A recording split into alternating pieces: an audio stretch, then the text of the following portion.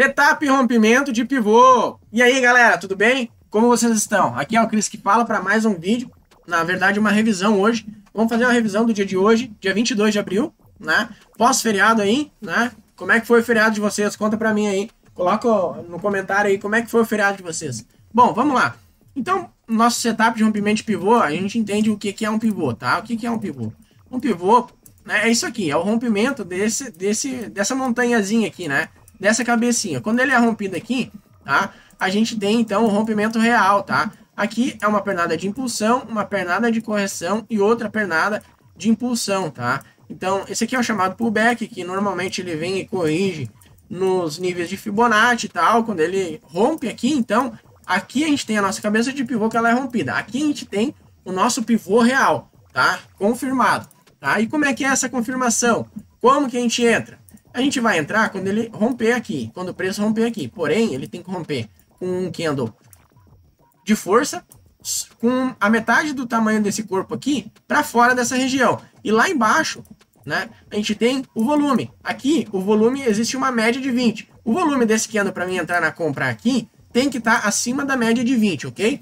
Eu não vou explicar muito a fundo isso, nós vamos fazer uma revisão agora tá? Se você quer entender bem, mas bem sobre como entrar, em quando entrar, nós temos um vídeo específico sobre isso. Na verdade, nós temos uma playlist já com mais de 10 vídeos, né, sobre nosso setup de rompimento de pivô. Então assiste aí no canal, tá? Eu vou continuar aqui então com a nossa revisão. Vamos lá. O que, que a gente sabe? Que a gente tem que pegar e fazer o desenho aqui no gráfico, né? Aqui era terça-feira, né? Quarta-feira não existiu pregão, tá? E a gente uh, tem essa movimentação até hoje aqui então, tá? Aqui o mercado abre hoje, tá? Então a gente tem que pegar das 9 até as 10, 10 e meia, né? Digamos que aqui foi 10 e meia. Então até aqui a gente tem que calcular qual foi a máxima? Essa foi a máxima. Qual foi a mínima? Essa foi a mínima. Então após isso, a gente opera quando o pivô romper para cima ou opera quando o pivô romper para baixo. Aqui dentro a gente não opera, a menos que a gente tenha outras confirmações, que sejam as médias móveis vindo por baixo aqui do preço, né? O preço vindo fazendo um repique nelas aqui, ó. E aqui está o nosso ponto de compra antecipado, tá? Mas essa é a forma que eu, o Cris, opero hoje, tá? E eu também opero o rompimento do pivô e outras técnicas também, né? Que eu já tenho passado aqui no canal, tá?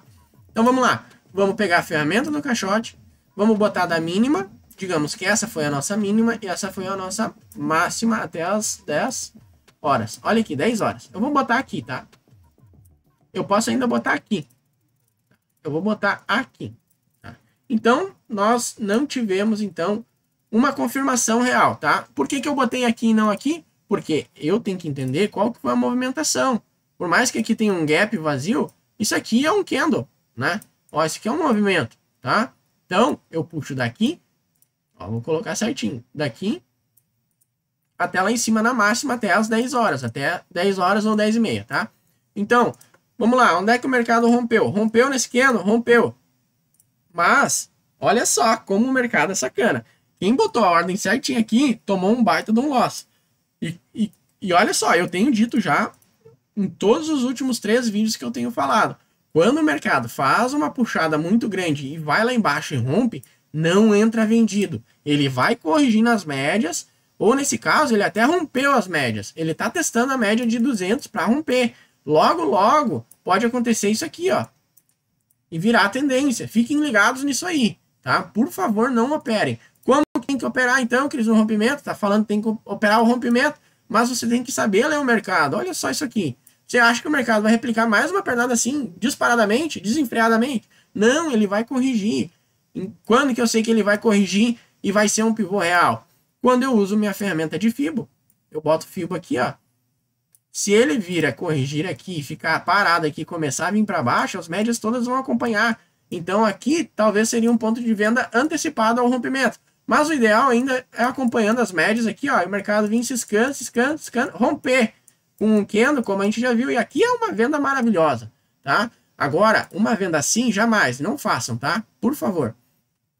Tá bom? Então, o que, que a gente vê aqui agora? O mercado não parou na região de Fibonacci, nas retrações. Ele até arrancou para cima ela, né? Então o que, que eu vou considerar agora? Eu considero essa movimentação. Porque essa movimentação não foi respeitada.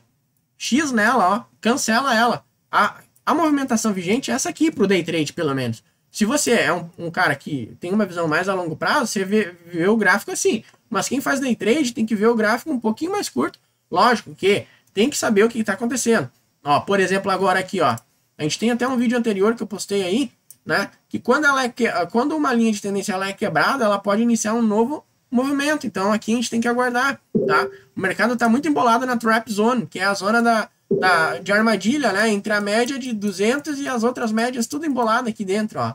E ele ainda não decidiu, né? Agora ele, eles estão assim, ó. A VWAP está escorando o preço muito aqui, ó. Então tem que ter essas visões quem opera de mais longo prazo e saber o que, que o mercado pode vir a fazer também, tá? Mas eu, olha só, o que está acontecendo agora? O mercado, ele respeitou essa movimentação aqui. Olha só, ele está parado aqui, ó, na região onde a gente sabe que aqui pode ser um bom ponto de compra. Porém, olha só, porém, nós temos a, a média de 200, ela está ficando flat, tá? Se ela vir e ser rompida aqui e aqui, aqui vale um ponto de compra, né? Antes do rompimento do pivô de fato, tá? Para quem opera o rompimento de pivô, aí o rompimento tem que ser da, daquela mesma forma, né? O candle aqui que rompe tem que ser acima de 50% dessa linha aqui, né? Dessa linha aqui, e lá embaixo tem que dar o volume alto, né? Tem que dar um volume alto, ok? Então aqui no mini índice não tem rompimento de pivô hoje, tá? Vamos lá para o mini dólar ver o que está acontecendo lá. Ó, o mini dólar também tá bem louco, né? Hoje ele, ele abriu com, com uma pernada puxando, né? Puxando o preço tudo lá para baixo, né? Então fiquem ligados nessa pernada aqui de baixo, tá? Porque o mercado está respeitando ela. Ele, se ele passar dessa zona aqui, aqui para cima, então inicia-se uma tendência de alta nova, tá? Muito cuidado com isso, tá? Aqui não teve nenhum pivô bonito formado. O pivô que ele deixou na sexta-feira foi esse aqui, ó. Para quem opera dessa forma aqui, vendeu aqui por causa das médias, tal, rompeu o pivô, ganhou muita grana hoje, tá? Mas não, ainda não estou, eu não estou ensinando essa forma de operar, tá? Aqui a gente está falando do setup de rompimento de pivô, ok? Então, no mini dólar, vamos ver. Ó, onde é que foi a nossa máxima? Aqui. E onde é que está a mínima até as 10, 10 e meia? Aqui. Ó, aqui está a mínima. Então, olha o tamanho desse pivô. Eu já não faço nada no mini dólar hoje, porque olha o tamanho desse pivô. Tá? Se ele for rompido para baixo, né, ele pode vir a fazer a mesma pernada de baixo aqui, ó. Mas as médias já estão escorando aqui, ó. Ele também está numa mini trap zone, ó. As médias vindo assim, ó. Ele está muito embolado aqui dentro. Aqui dentro você não opera. Você só opera quando as médias cruzarem para cá, ó, que é o que eu acho que ele vai fazer. Ele está tentando vir buscar 200, tá? Mas ele tem uma barreira forte aqui no meio, por causa da correção de Fibonacci, tá? Então, se o mercado estiver fazendo isso aqui, ó, que agora ele está abrindo as médias, a VWAP vai passar aqui, ele vai fazer um pullback aqui, ó. Seria um ponto de compra maravilhoso, até a 200, tá? Então, pode ser feito compras aqui? Pode, mas tem que saber que a 200 está passando aqui, que ela pode ser um possível uma possível resistência, tá? Se ele passar e rasgar, aí ele vai engrenar uma tendência de alta forte, tá? Desvalorizando, então, essa pernada de baixo aqui, tá?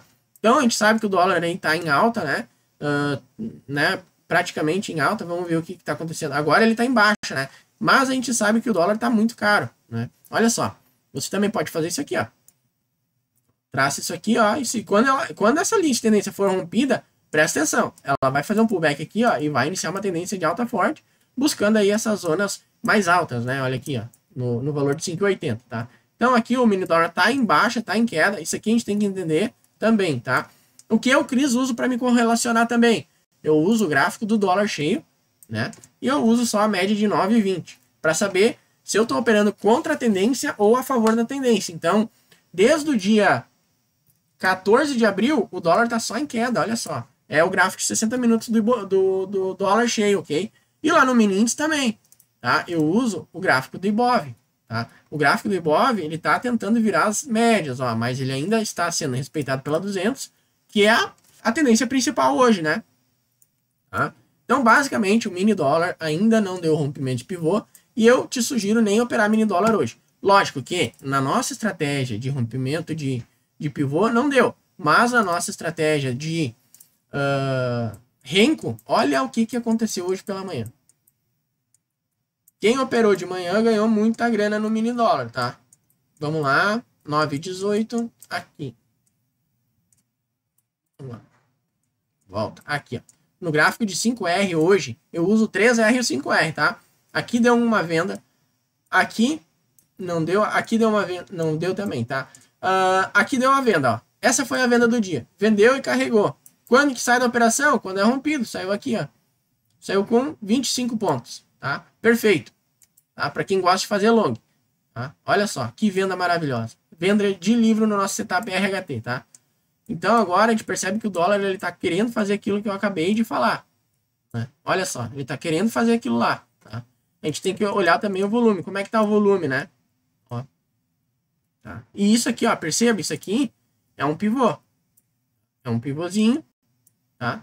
Que tá querendo ser rompido aqui também, tá? Vale um, um pullback aqui, é uma compra aqui de apoio com a VWAP, média de 29, tá? Então também tem isso, ok? Provavelmente esse vídeo você vai estar tá vendo só a parte da noite, mas se der esse movimento, você deixa já o seu like aqui nesse vídeo, cara. Porque aqui a gente lê o gráfico, a gente não tem setup embutido não, tá? Então eu, eu Cris, vou ficando por aqui. Se você curtiu esse vídeo, deixa seu like, comenta aí, tá? Compartilha com seus amigos. Também temos os nossos links das nossas mídias, tá? Instagram, Facebook. E temos também o grupo do Telegram. Todos os links estão aqui embaixo, ok? Eu, Cris, vou ficando por aqui e valeu!